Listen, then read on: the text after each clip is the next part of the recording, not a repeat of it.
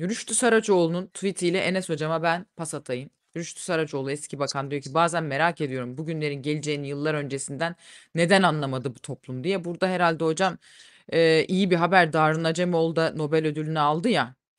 E, ona da o da senelerdir söylüyordu. Sizin de ah, ahbaplığınız var.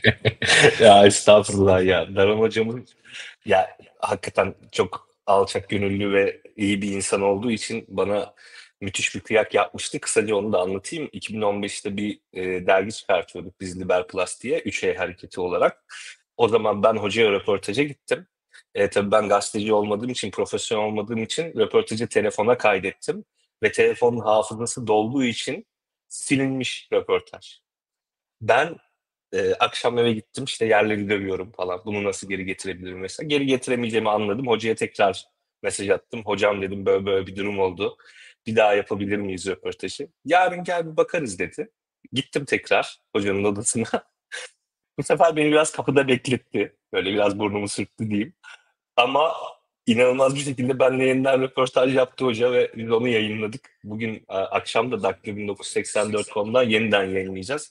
Yani benim hocayla görüşmem hani bu şekilde. Bu fotoğrafı da o zaman çekilmiştik. Yani hakikaten o alçak gönüllülüğünden dolayı benim gibi o zaman genç bir insandım tabii.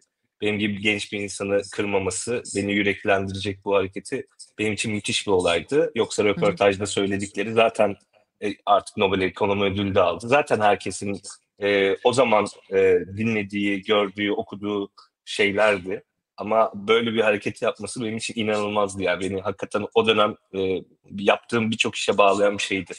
Buradan tebrik etmiş olalım. Hocam herkes 750 lira meselesini soruyor. 750'ye kilitlendik ama ba- tabii başka vergiler de var. Araç alım satımında yine bir şeyler bir şeyler bir yığın üstümüze vergi şey yaptılar yani boca ettiler anladığım kadarıyla.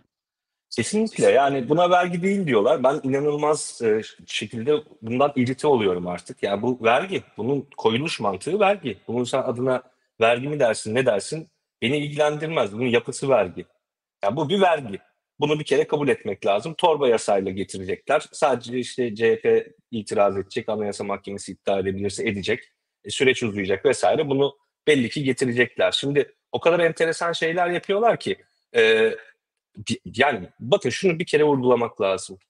Hazine dediğiniz şey bir ülkede aslında tek bir hazine olmalı. Tamam mı? Tüm vergiler o hazineye gitmeli ve oradan dağıtılmalı. Bütçe ona göre yapılmalı. Şimdi bu bir önemli bir şeymiş, övünç kaynağıymış gibi ya burada hazineye hiçbir şey gitmeyecek. Ya niye gitmiyor kardeşim? Asıl hazineye gitmesi lazım. Doğru düzgün bütçe yapamadığınız için e, habire fon uyduruyorsunuz. Ya Türkiye bu fon olayından çok çekti. Bakın hazine gelirleri ne kadar azsa kamu kamu bütçesi içerisinde hazinenin oranı ne kadar azsa o ülkede denetlenebilirlik o kadar az oluyor. O ülkede aslında öngörülebilirlik o kadar az oluyor. Normalde hakikaten her şeyin tek bir hazineye gitmesi lazım. Bunu böyle övünçle söylüyorlar. Oraya gitmeyecek, boşa harcamayacağız. Demek ki sen hazinedeki parayı boşa harcıyorsun. Bunu da bir şekilde itiraf ediyorsun. Şimdi koydular bu dronlara vergi koydular. Şimdi daha öncesinde dijital kameralara da vergi koymuşlardı. Bu o kadar kötü etkiledi ki piyasayı. Ya habire piyasaya kaçak kamera giriyor. Kamera giriyor kaçak tamam mı? Bunun servisini alamıyorsun, hizmetini alamıyorsun. Ya bu kamera siz bunları falan oyuncak mı zannediyorsunuz? Drone'u, kamerayı oyuncak mı zannediyorsunuz ki oyuncak da çok önemli bir şeydir. Affedersiniz. Lafın gelişi öyle söyledim. İnsanlar bunları alıp hizmet üretiyor. Telefonu alıp hizmet üretiyor. Bilgisayarı alıp hizmet üretiyor. Yani habire e, kendi başına, kendi onuruyla, gururuyla insana yakışır bir iş yapmak isteyen insanların elindeki şeylerden sürekli vergi almaya çalışıyorsunuz. Ya işin garabet tarafı bu. Türkiye'nin bakın hizmet ihracatı bu alanlarda yani bu bunlar ara mamül gibi düşünebilirsiniz. Ara mamülü alıyor son ürüne dönüştürüyor. İşte videodur, şudur budur onları satıyor. Hizmet ihracatı yüksek. Kamera pazarında Türkiye hala Avrupa üçüncüsü falan. Yani çünkü burada alıyorlar bu insanlar. Bununla hizmet üretip satıyorlar. Şimdi Discord'u kapattılar geçen hafta. Ya sırf ben kaç tane arkadaşımıza Discord'da topluluk yönetmeyi öğrettim ve onlar birçok işte kripto para, blockchain, NFT projelerinde topluluk yöneticisi oldular Discord'da. Bu çocuklar para kazanıyordu. Yani siz habire hakikaten onuruyla okumak isteyen, onuruyla bu ülkede yaşamak isteyen insanların üzerine şey bindiriyorsunuz. Vergi, işte maliyet bindiriyorsunuz. Hakeza saatlere de vergi gelecek. Ya şimdi sürekli şöyle bir düşünce var. Ya zengin olan bunları alır, hobi bunlar falan. Hiç de öyle değil. Bakın saatin bir kısmı hobi olabilir. Belli saatler çok pahalı ama belli saatlerde ya insan kendine değer vermek istiyor. Arada kendini bir şımartmak ister, bir ödül almak ister. Ya bir 15-20 bin liralık saat alamayacak mı bu insanlar? Niye bunun üstüne vergi bindiriyorsunuz? Ve saat işi drone kamera gibi de değil. Sahtesi bilmem nesi, şusu busu falan filan da çok. E, sizin şunu yapmanız lazımdı. Yani Türkiye'de drone üretecek kadar verimli bir ekosistem kurmanız lazım. Türkiye'de iyi tasarımlı saat üretecek kadar verimli bir ekosistem kurmanız lazım. Türkiye'de tasarımcı mı yok? Çok iyisi var. Türkiye'de yazılımcı mı yok? Gayet iyisi var. Ama insanlar sürekli dışarıya hizmet vermek zorunda bu insanlar. Onun için kendi ülkelerinde bir marka yaratamıyorlar. Buradan Nobel Ekonomi Ödülü'ne bakın şöyle bağlayalım. No- Nobel Ekonomi Ödülü'nü niye verdiler? Daran Acemoğlu, e, Simon Johnson ve James Robinson'a aslında toplumsal kurumların bir ülkenin refahı için önemini gösterdi bu insanlar. Hukukun üstünlüğünün zayıf olduğu toplumlar ve nüfusu sömürerek aslında kurumlar, öyle büyüme sağlayanlar, kurumsal bir değişim yaratamayanlar e, ilerleyemiyor. Sürdürülebilir bir büyüme sağlayamıyor. Sürdürülebilir büyüme sağlayamadığı için de işte böyle fon üretiyor. Ondan sonra saçma sapan konuşuyorlar. İşte cari açığımız azalıyor. Ya senin cari açığının azalması iyi bir şey değil ki. Sen cari açığını azaltacak kadar verimli bir üretim sistemine geçtin de o nedenle mi cari açık azaldı? Bizim mi haberimiz yok? Senin cari açığının azalmasının nedeni senin artık ülkende doğru dürüst üretim yapamaman. Yani sen üretim yaptıkça cari açığın artıyor. Yani bu sistemi değiştirememişsin. 20 yıl geçmiş bu kalıbı değiştirememişsin. Bu üretim desenini, bu ihracat desenini değiştirememişsin.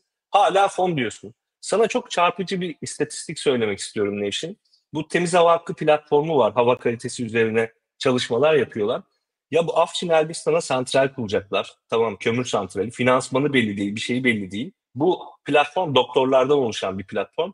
Bunun sağlık etkilerinin toplam maliyeti ne kadar hesaplamışlar biliyor musun? 88.4 milyar TL.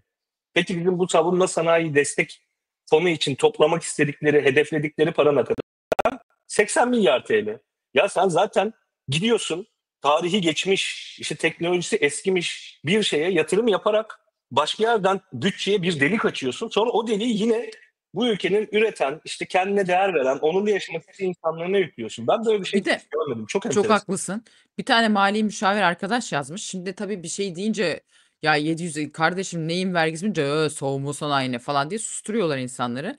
Şimdi diyor ki mali müşavir arkadaş özetle söylüyorum ya diyor zaten savunma sanayi devlet tarafından fonlanan hem de hani böyle vergi rekortmeni oldu falan diye paylaşılıyor da yani bu savunma sanayinin diyor yapısı farklıdır. Yani hem devlet tarafından fonlanıyor. Zaten işte seninle de konuşmuştuk hani kar payı dağıttıkları için. Şirket değil kendi üzerinden gösterdiği için vergi rekortmeni olarak. Yani burada bir tabii şey PR çalışması da var. Onu da anlıyoruz. Herhalde ucu da siyasete bağlanacak bir noktada. Ama diyor ki ya böyle şey mi olur? diyor. Böyle karşılaştırma mı olur? diyor. Zaten kamu desteğiyle yani ayrıca savunma sanayi fonu var devletin. Ne bileyim bu işte milli piyangodan da bilmem neden de savunma sanayi fonuna para aktarılıyor. Şimdi hem bunun üzerine buna düşünce e, zaten bunun fonu var. Hani yok değil ki fonu var. Bir ikincisi senin şey dediğin çok doğru. Denetim yok. Mesela işte Amerika'da da falan savunma sanayi güçlü. E, güçlü ama senatonun deli gibi de, e, şeysi var. Denetimi var üstünde. E, hangi şeyden ne kadar üretildi, nereye ne kadar satıldı. Hani kafana göre Amerikan drone'unu ne kadar sattın, nereye sattın, mühimmat nereye sattın. İşte bu Ukrayna'ya gidecek yardım 50 bin tane tartışma konusu oldu ya silahlar ya da kafana göre öyle Oraya da drone satıyorum. Bizim damat da şey yapmış. Onu da oraya veriyorum diye değil ki. Bir denetim var. Bir de biz, bizde üstüne sıfır denetim. Hiç denetim yok. Hem kamudan hepimizden fon aktarılıyor hem de bir mecliste işte bir savunma komisyonu falan bunun üzerinden denetlenmesine izin verilmiyor. Maalesef bizimki gibi ülkelerde e, iş biraz savunma sanayinden çıkıyor, savaş endüstrisine giriyor. Çünkü yani oraya otokrat biçim bir şekilde yönetiyorsun. Her ülke savunma sanayi ürünleri üzerinde denetime sahip. İşte Türkiye'ye Eurofighter satılmasını mesela Almanya engelliyor. İşte F-35 programının halini gördünüz. Ha kaldı ki mesela S-400 aldık kullanamıyoruz. 2,5 milyar dolar verdik. O da zaten savunma sanayi destekleme fonu için toplamak istedikleri para kadar bir parayı zaten oraya gömdük. Şimdi bir de Afşin Elbistan termik santraline gömeceğiz o parayı. Oradan sağlık etkilerini çıkartacağız. Üzerinde denetim olmuyor. Çünkü e, böyle yönetiyorlar ve sen de daha önce de konuşmuştuk hakikaten. Ankara mesela şu an Türkiye'nin e, eğitim ortalaması en yüksek şehri. Bunun en büyük sebebi bürokratlar falan değil. Savunma sanayinde çalışan insanlar. Yani ülkenin, ülkenin insan kaynağını, işte vergisini, şununu bununu her şeyini hakikaten çeken bir yere dönüşüyor ve hala bakın o kadar projeler var, o kadar şeyler var. Seri üretime geçmek çok daha e, farklı bir şey ister. E, ne derler? E, farklı bir yöntem izler. Farklı bir şeydir seri üretime geçmek. Bir şeyi geliştirmek veya işte bir şeyi yaratmak onu seri üretime geçeceği anlamına gelmez. Önce kendini kendin hani kendi kurumlarınla o savunma sanayi bir desteklersin. Ondan sonra onların dışa satışını sağlamaya çalışırsın. Çünkü Türkiye'nin ölçek itibariyle e, bu kadar büyük bir savunma sanayini destekleyecek bir ölçeği yok. Her zaman dışarıya satmalı ki maliyetini kurtarsın. Yoksa bu savunma sanayi fonu bugün 750 olur kredi kartlarından alınanlar, yarın 550 olur, şey 7500 olur, ertesi yıl işte 15 bin olur. Çünkü Türkiye bunu döndüremiyor artık. E, seri üretime de geçiremiyorsunuz birçok şeyi. Seri üretime geçip dışarı satılsın ki bari o zaman hakikaten bu üretilen şeylere değsin, argeye değsin. Yani o kadar fazla proje var ki ben yüzlerce yani aklım, aklım hafsalam almıyor artık. Torpidolar, füzeler, bilmem neler. Hepsine bir ülkenin ihtiyacı vardır. Buna hayır da demiyorum. Tabii ki hepsine bir ülkenin ihtiyacı vardır. Fakat ölçek olarak zaten ülkeler bunların hepsini tek başına yapamayacağı için onun için zaten uluslararası işbirlikleri var. Eurofighter ya Almanya kendine uçak yapamayacak kadar fakir veya mühendislik bilmeyen bir ülke mi? Niye bunun konsorsiyumunda dört tane ülke var? Amerika F-35'i kendi başına yapamıyor muydu? Niye Türkiye'ye şunu bunu bilmem ne konsorsiyumu aldı? Bunların hepsi maliyet etkin yaratılmak için yoksa Türkiye'de eminim ya Selçuk Bayraktar vesaire de dahil. Türkiye dünyanın en güzel uçağını yapacak insanlar vardır tamam mı? Ama önemli olan o uçağı yapmak değil ki ondan bir tane yapsan mı olur? Onu seri üretime geçirip satabilmek. En güzel gemiyi yapmak değil, kullanıp satabilmek. Yani bunu bir türlü Tabii, başaramıyoruz. Ya bize seçim kazanmak için şey yapıldığı için işte popülist. Şimdi iki tane şey. Hocam seni toparla toparlamamız lazım. İki Tabii, tane tabii. şey. Hani bir millet şeyi soruyor. E şimdi herkes bankalar arayıp limitini 100 bin liranın altına çekmeye çalışıyor. Ba- arayınca da bankaları şu anda pek çok bankadan bant çıkıyor. Daha böyle bir yasa çıkmadı. Hani sakin olun falan diye. Bir Evet. şöyle bir şey var.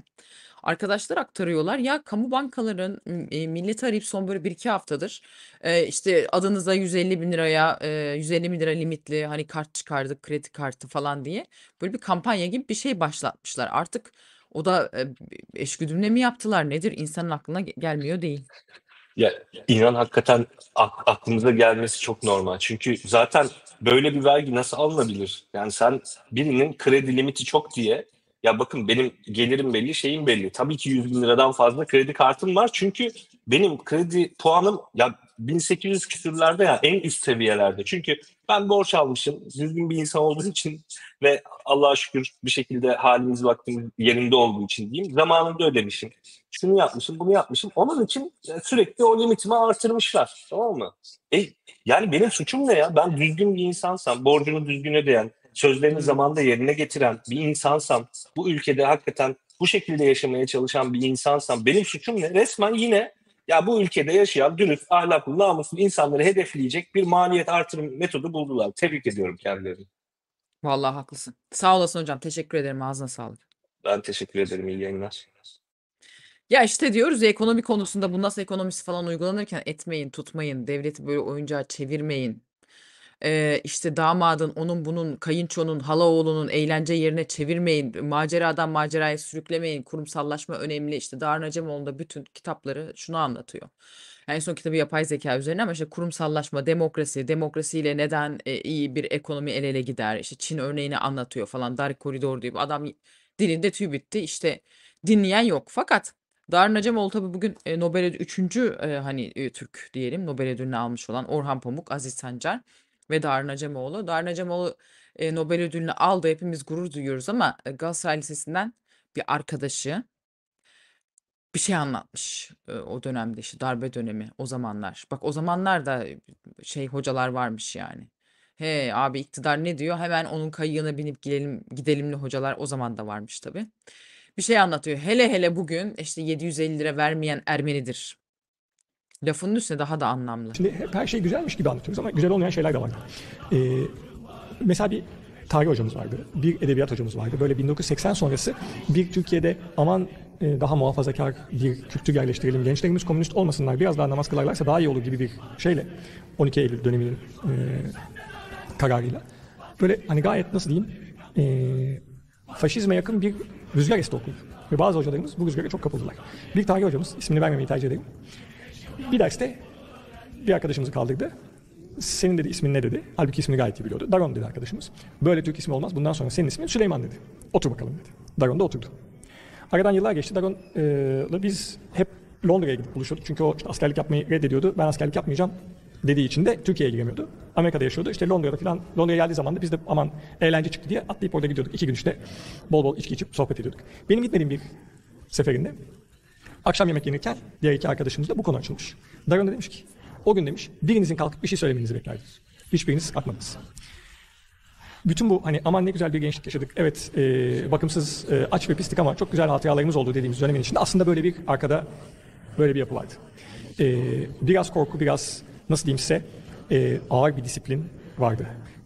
Biz aslında 12 Eylül'ün o baskıcı rejiminin en baskıcı yıllarında bu lisedeydik. Evet burası biraz dışarıdan daha korunaklıydı belki ama yine de dışarıdaki o ağır hava içeriye de çok fena sirayet etmişti. Evet güzel tarafları vardı ama bu tip kötü tarafları da vardı. Evet yani. Çok güzel anlatmış. Biz yine hani gurur duyuyoruz. Darın Acemoğlu tebrik ediyoruz. Hakikaten e, gurur duyduk. Şimdi